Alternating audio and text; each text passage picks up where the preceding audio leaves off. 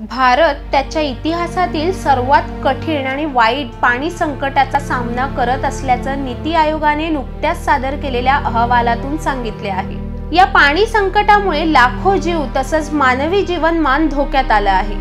भारताची लोकसंख्या एकशे बत्तीस करोडहून अधिक आहे. भारतात प्रत्येक माणूस दररोज जवळपास शंभर लिटरहून अधिक पाण्याचा वापर करतो. सध्या सहाशे मिलियन भारतीय अत्यंत तीव्र पाणी टंचाईला सामोरे जात असून दरवर्षी दोन लाख जीव अपुऱ्या सुरक्षित पाणी साठ्यामुळे मृत्युमुखी पडत आहेत. हे पाणी संकट दोन हजार तीस पर्यंत अधिक उग्र रूप धारण करण्याची शक्यता वर्तविण्यात आली आहे. या पाणी समस्येमध्ये झारखंड राज्य सर्वात वरच्या क्रमांकावर आहे.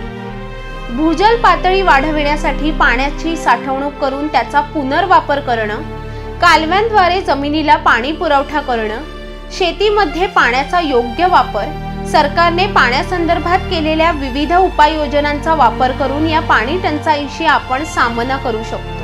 भारतात बावन्न टक्के शेती ही पावसाच्या पाण्यावर अवलंबून आहे. त्यामुळे गेल्या वर्षी पडलेल्या पावसाच्या प्रमाणावरून भविष्यात सिंचनाचा अधिकाधिक वापर करून त्यावर लक्ष केंद्रित करण्याची गरज आहे.